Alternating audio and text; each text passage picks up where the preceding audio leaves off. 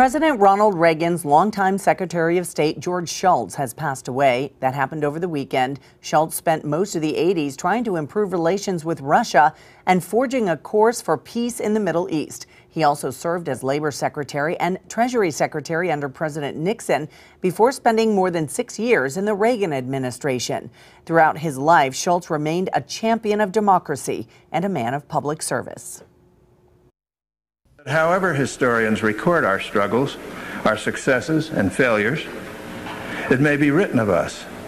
They served the public. They engaged the world.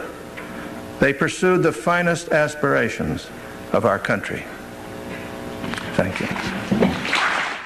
Among his numerous awards, the Medal of Freedom, the nation's highest civilian honor, awarded to him in 1989, George Shultz was 100 years old.